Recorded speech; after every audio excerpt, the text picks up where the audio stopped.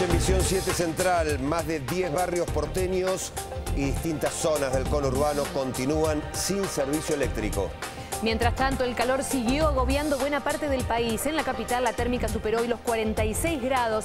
Se registró la ola de calor más fuerte de los últimos 40 años.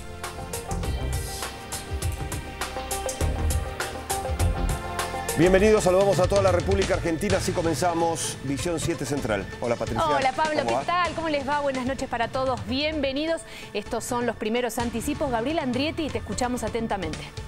Y este mes de diciembre es el más caluroso de los últimos 43 años. Hoy realmente con una sensación térmica agobiante, pero la lluvia trajo alivio. Descendió en 4 horas 10 grados. En un momentito les cuento cómo sigue esta ola de calor, no solo aquí en la ciudad, sino en gran parte de nuestro país.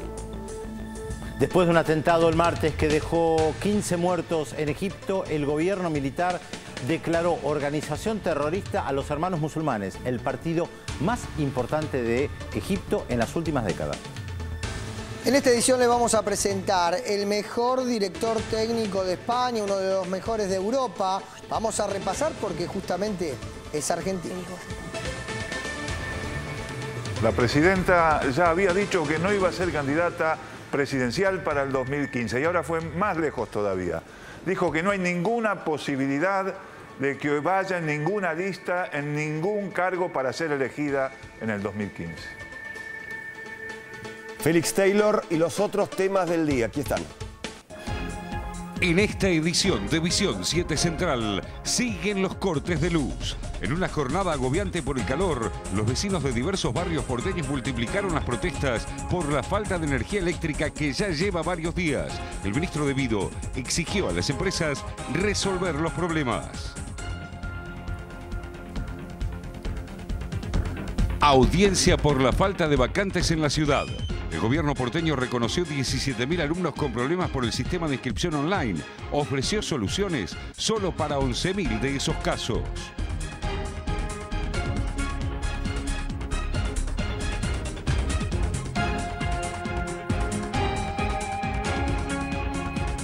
Los documentos de Asindar y la represión ilegal.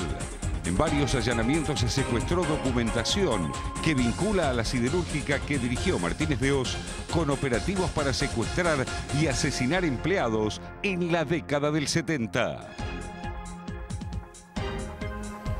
Está lloviendo a esta hora en algunos barrios de la ciudad de Buenos Aires. Esto trajo un poco de alivio para un día que fue otra vez agobiante. 46 grados llegó la sensación térmica en la ciudad de Buenos Aires para esta ola de calor que está afectando a unas 52 localidades argentinas. Bueno, al respecto hablaron desde el Servicio Meteorológico Nacional, indicaron que se trata de la ola de calor con más constancia de los últimos 40 años.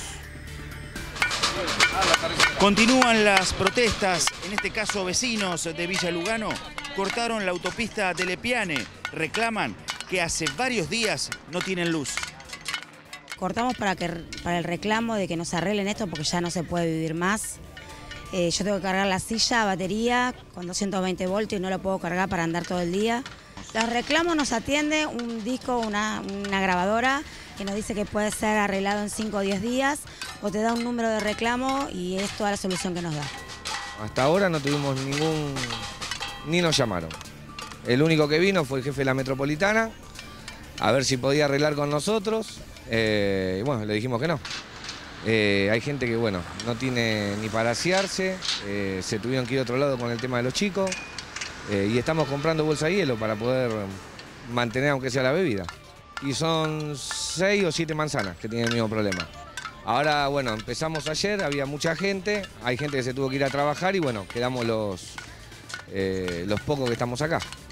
Es todo gente grande, hay gente discapacitada, son gente mayor, gente con hijos y no tenemos agua ni luz. Hace 20 días y hace 8 días que no estamos sin agua, sin luz y sin nada. Pasamos la fiesta, pasamos, tuvimos que tirar cosas, se tiró insulina, se tiró comida, se quemaron televisores, heladeras, ¿De qué empresa dependen? desde sur. ¿Y qué les dicen? ¿Hicieron el reclamo? ¿Qué les están diciendo? Lo único que hace es atenderte una computadora que te da un número de reclamo, nada más. Nadie nunca te atiende, ni, ni AISA, ni Edesur, nadie te atiende.